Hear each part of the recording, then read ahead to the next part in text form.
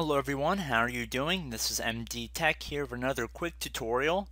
Today I'm going to be showing how to enable or disable the smart screen filter in Windows 10. For the purpose of this review, I'm going to be disabling the smart screen filter. If you're looking to enable it, just follow the steps. Just follow along with the video, and whenever I disable smart screen filter, just figure you should enable it. So the first area we're going to go into is Internet Explorer. So we're going to open that up. Near the top right there should be a gear icon that when you hover over it it says tools. So left click on that. The fourth option down should say safety and then left click on turn off smart screen filter.